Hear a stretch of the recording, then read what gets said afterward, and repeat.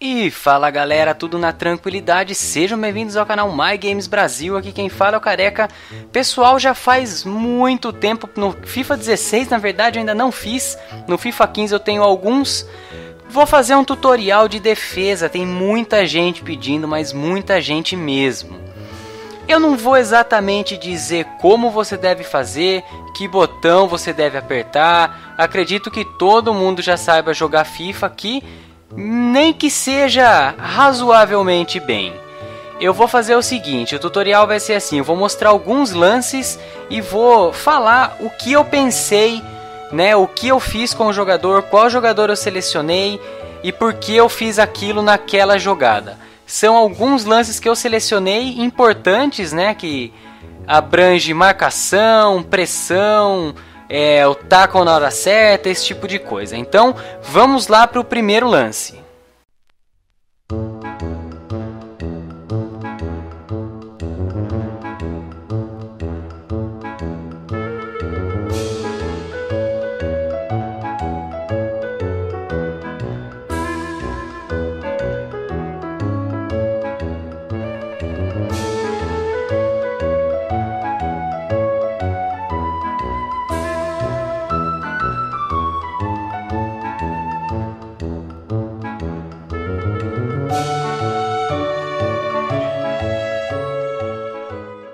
Então, galera, nesse lance, se vocês puderem observar, toda hora que o cara tá com a bola, eu tô tentando fazer pressão, mas sempre com os atacantes, com o meio atacante, com ponta esquerda. Vocês podem ver que o Sterling tá sempre correndo. O Agüero tá sempre tentando marcar.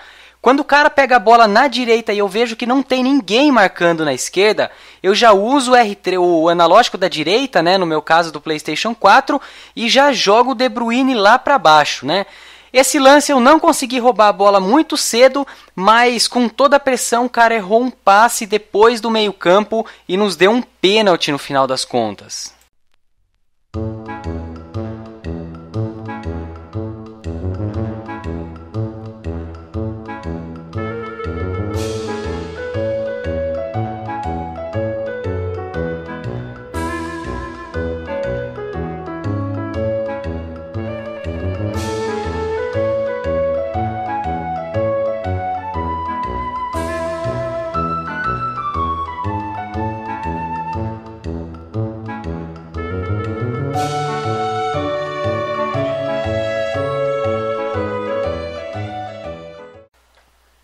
Galera, esse lance eu diria que talvez pro FIFA 16 ele seja um dos mais importantes para a gente analisar. Se a gente olhar, o cara tá com a bola. Agora a gente olha lá no radar, lá embaixo. Estão vendo? Tem um cara livre lá no radar.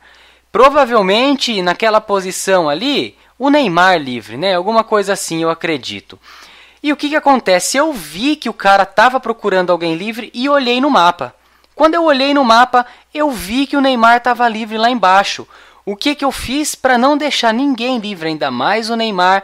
Eu mudei com o analógico da direita para selecionar o meu lateral direito, para ir marcar o Neymar, para pelo menos chegar perto dele, para a gente conseguir, se ele dominasse a bola no lançamento, pelo menos atrapalhar o Neymar aí numa corrida ou em algum outro tipo de lance. Esse lance vocês podem ver que depois de um tempo, né, nós conseguimos o desarme, conseguimos marcar o Neymar muito bem, que nós tiramos a bola e depois saímos no contra-ataque e ainda conseguimos marcar o gol. Então isso mostra que um desarme lá atrás é extremamente importante, pode realmente te dar um gol. Qual é o ponto mais importante aqui?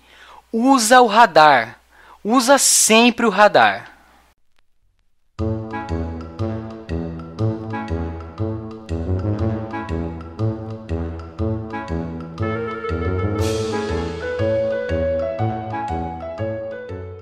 Esse lance bem curtinho e rápido, o que, que aconteceu? Esse cara, ele saiu perigosamente dali, né, da área dele. Dá pra ver que quase o De Bruyne pegou a bola quando ele tentou tocar.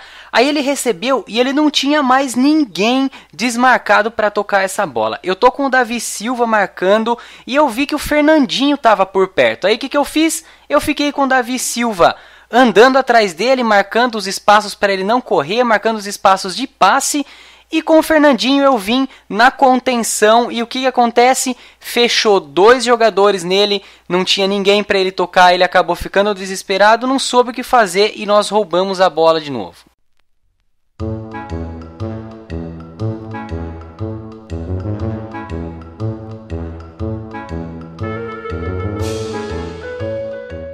Nesse lance, galera, a gente consegue ver que tem um jogador do cara se livrando lá embaixo e ele faz o lançamento. E se ele continuasse correndo, ia ter muito problema. Eu tô com um zagueiro e com um lateral marcando. Aí o que, que aconteceu? Eu peguei o jogador, o zagueiro que eu estava marcando, vim só fazer uma cobertura e aproveitei que o lateral também estava ali a hora que ele passou do meu zagueiro, vocês reparem que eu não dei o bote nele. A hora que ele conseguiu passar, eu peguei o meu lateral e já voltei com ele. Porque eu voltei e não avancei e não tentei dar o tackle? Porque se eu desse o tackle errado, ele conseguiria passar tranquilamente e com certeza ele ia marcar o gol. Então eu preferi ficar na contenção, esperar algum jogador meu voltar do que dar o tackle direto e correr o risco de tomar um gol, de tomar um contra-ataque mais perigoso do que esse aí.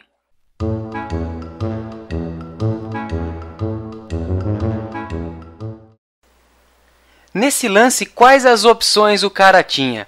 O cara não tinha basicamente nenhuma. Se ele corresse, eu tava com o Hazard. Era impossível o Hazard não conseguisse recuperar do tackle e pegar esse cara na corrida com certeza ele ia correr mais do que o cara e a gente ia conseguir marcar de novo. Então, o que, que eu pensei?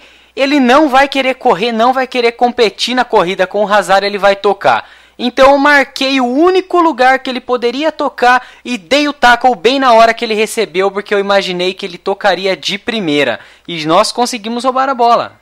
Pessoal, é esse modelo de tutorial que eu gosto de fazer. Eu não gosto de fazer um tutorial muito técnico, muito explicativo, porque eu acho que ele fica chato. E pelo menos eu prefiro ver exemplos assim, eu prefiro ver a coisa acontecendo. Então, quando eu procuro um tutorial que seja de FIFA ou que seja de qualquer outra coisa na internet, eu busco tutoriais que me mostrem a coisa acontecendo. E é isso que eu procuro passar para vocês também. Os lances que eu acho mais interessantes, mesmo sendo menores ou maiores, ou que terminam em gol, que não terminam em nada, mas eu gosto de mostrar esses lances para vocês que são bem interessantes.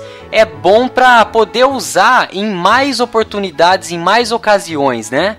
Eu vou ficando por aqui, pessoal. Esse, na verdade, ele não é um tutorial muito grande, né? Não deu, acho que tá dando 10 minutos, alguma coisa assim. Mais pra frente eu faço algum outro, tento fazer um de finalização, ou tento melhorar esse de defesa, fazer mais algum outro exemplo, alguma outra coisa assim. Eu espero que vocês tenham gostado. Dá um like aí que ajuda. Se você não é inscrito do canal, se inscreve no canal, que nós temos modo carreira, nós temos um, aquele tipo Road to Glory, na verdade, que aqui no canal tem o nome de Sobe Moléstia. Nós temos é, algumas parcerias bem interessantes que você não pode perder. Dá uma olhada em tudo isso, se inscreve no canal, peço novamente um abraço para vocês e eu fui!